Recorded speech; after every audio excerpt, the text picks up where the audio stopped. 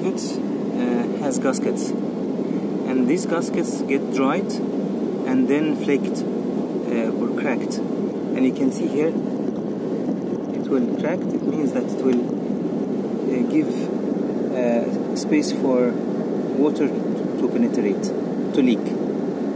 And uh, also the because the, the rivets are not treated uh, properly as the surface of the of the roof it gets rusted. And actually with the rusting of the, of the rivet if it is connected to the metal it will actually affect the metal and also promote the rusting in the metal itself. And you can see that the color uh, around the rivet the color of the metal around the rivet. Usually we get the problem of having like leaks from rivet and then we try to seal this with with this sealant and usually we use inappropriate material. In this case you can see it's like peeling by the time. Okay?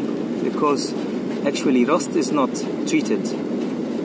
So when it's not treated rust will be happening underneath uh, the uh, the rivet the underneath the, the coating the, the the sealant.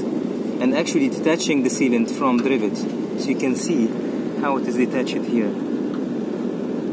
and also bringing water drinking water in. Silicone usually is uh, when it is um, uh, also exposed to U UV it will deteriorate with time and actually exposing again the uh, the rivets.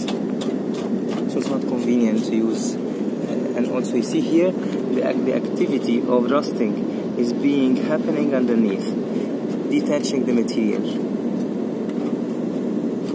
in this case we have material called rivet guard and this rivet guard is 100% rubber material. It is not water based it's solvent based and actually it will be injected over this hole having like a full bridging over the rivets. And in this case it is also has like UV protection. Uh, and before doing this we have to mitigate the rust. We have to treat the rust first. Uh, when the when the, treat the rust means like to spray uh, material called rust arrestor. And this rust arrestor will stop the rust forever and actually convert the rust into primer metal primer. Then it can actually hold or receive the materials the coating or encapsulation material properly with a full adhesion and attachment.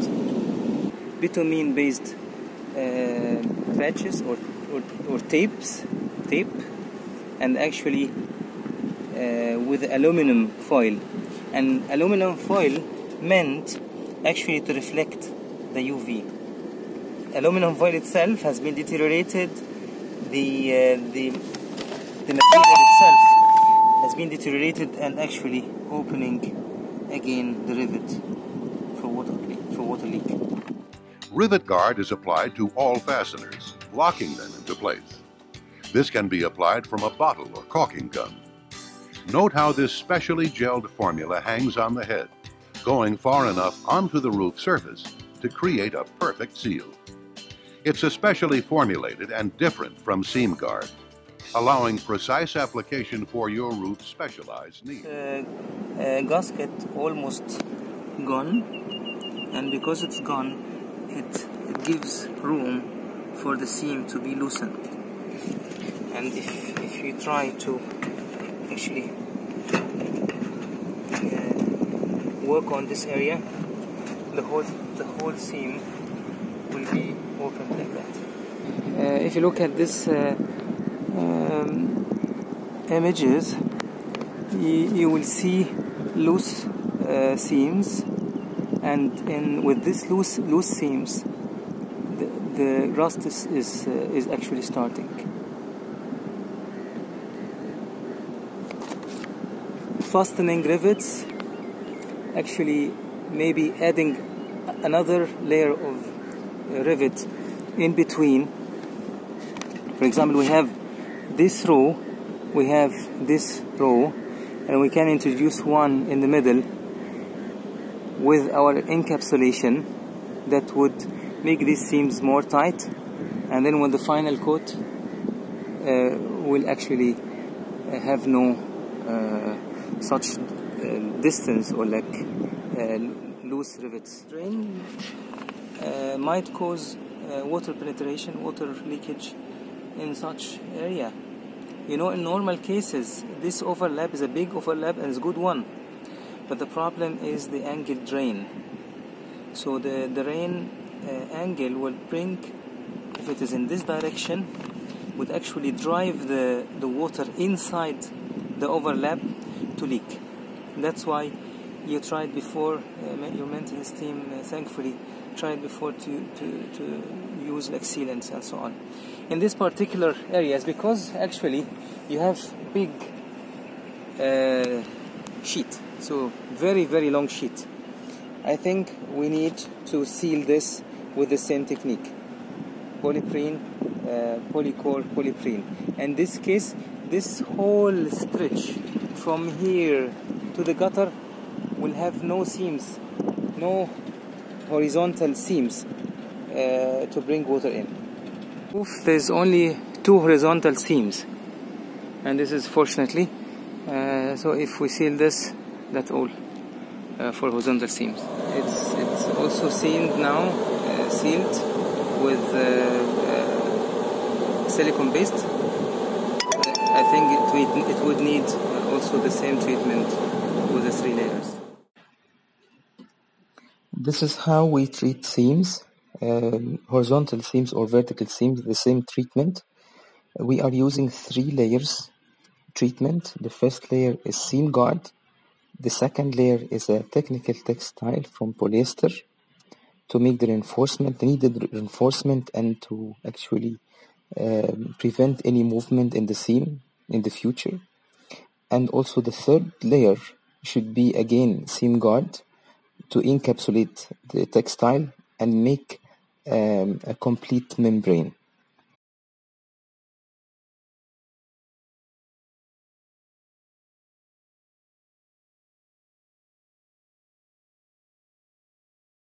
Also gutters um, this rust, area, problem and also the seams might be detached. Also the rivets that actually uh, attaching the seams together uh, might be source of, uh, of, uh, of leak you don't have actually to change that or to replace it.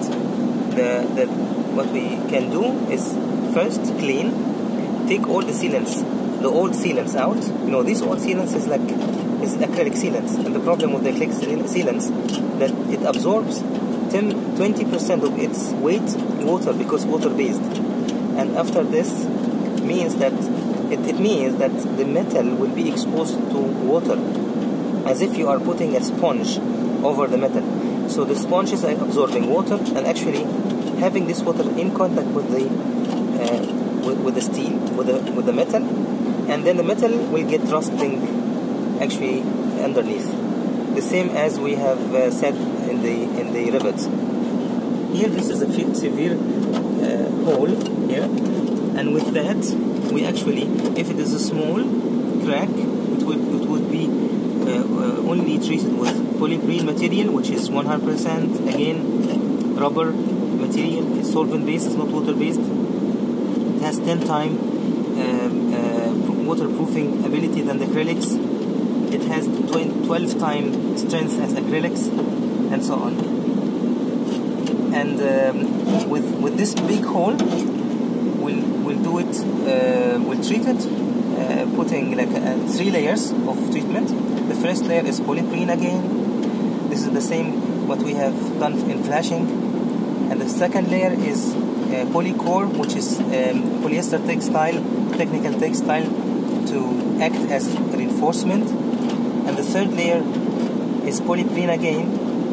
And this sandwich will, sandwich will, will bridge any gaps, whatever the size, without actually any replacement. But all this should be done after rust arrestor to be sprayed and all rust, rusting process should be rusting process is happening underneath the, the coat because the coat is uh, is acrylic. And here you can see easily the coat is peeling off because it, it has no UV stabilization. So against UV it has, has no protection against UV and and actually uh, rusting is, is happening underneath.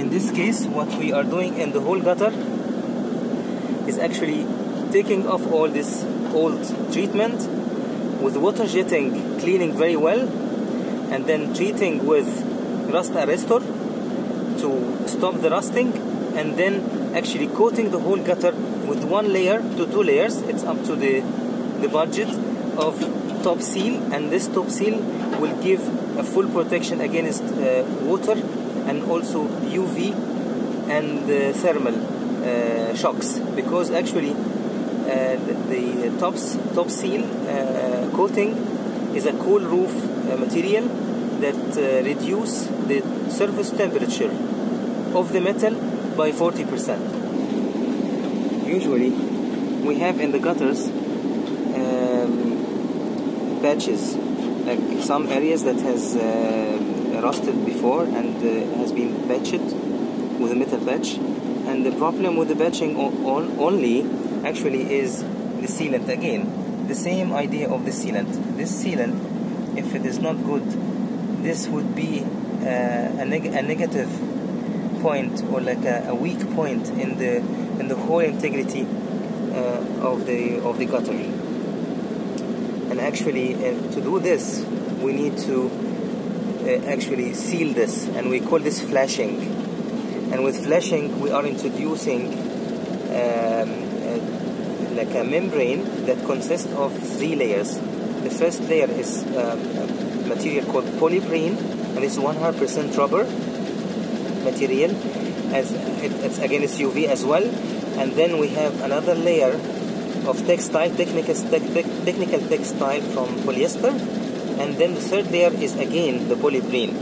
And this will make sandwich of uh, flashing material that actually take the, the form, but not only actually sealing, sealing the joint, but actually bridging the joint fully, preventing any leak in the future. Should be also uh, treated with, with rust arrestor, as we said, for uh, for whole uh, vents, the heads of the vents also rusted. So need to be treated. There will be areas of rust and corrosion that need to be treated. Rust arrestor is applied to these areas with a simple low pressure pump spray and allowed to work on the rust overnight and ideally up to 24 hours in some cases.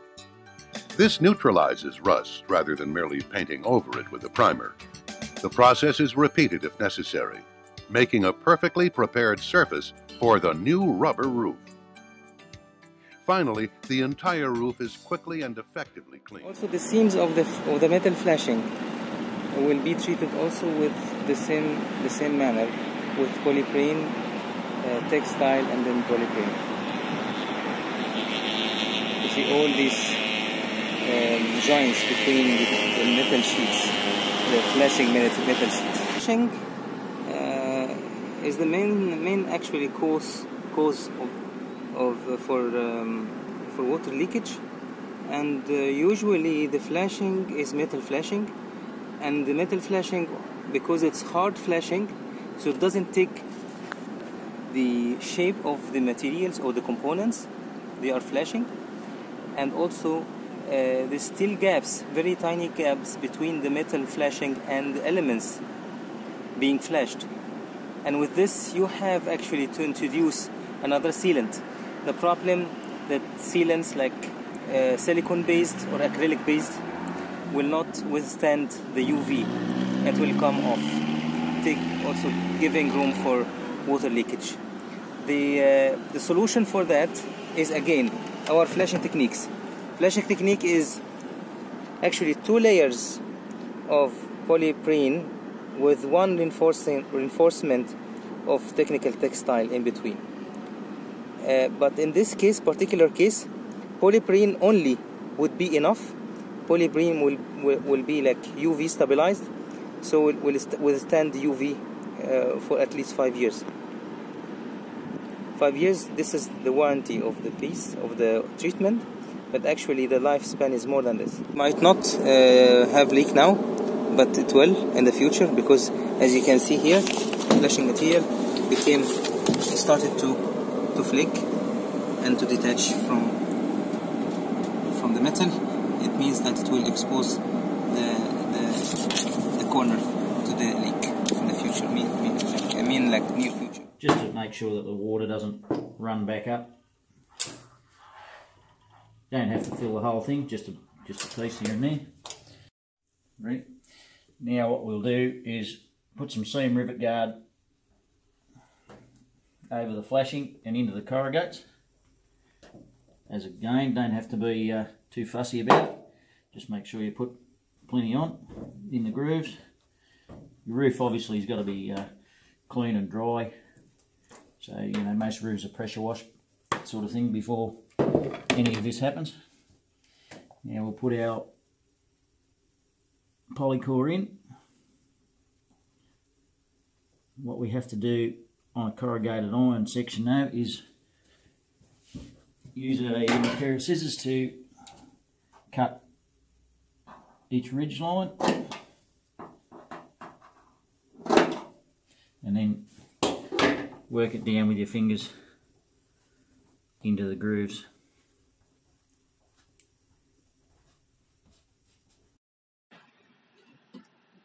This is how we treat seams, um, horizontal seams or vertical seams, the same treatment. We are using three layers treatment. The first layer is seam guard. The second layer is a technical textile from polyester to make the reinforcement, the needed reinforcement and to actually um, prevent any movement in the seam in the future. And also the third layer should be again seam guard to encapsulate the textile and make um, a complete membrane.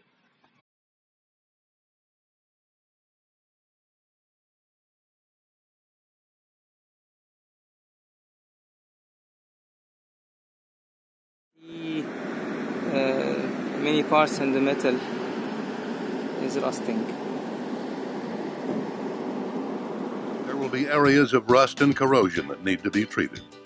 Rust arrestor is applied to these areas with a simple low pressure pump spray and allowed to work on the rust overnight and ideally up to 24 hours in some cases. This neutralizes rust rather than merely painting over it with a primer. The process is repeated if necessary, making a perfectly prepared surface for the new rubber roof. Finally, the entire roof is quickly and effectively cleaned. Using an airless spray machine, this time with a 31 thousandths tip and 10 inch spray pattern, the membrane is carefully applied to a uniform thickness across the entire roof. Alternatively, jobs may be applied by long-handed roofing brush, working in a systematic fashion. Applicator care is given to coat all sides of the seams to maximize protection. Topps base coat provides a contrasting color, making it easy for your applicator to provide proper coverage. Work continues, working up and down the corrugations to assure even and total coverage for a beautiful finish job. The base coat is allowed to dry before the finish coat of Topps-Seal is applied in the same way the applicator angles the spray tip to ensure that both sides of the profile or corrugation receive the correct amount of product. The Top System 1000, designed for all climates, all environments, and all looks.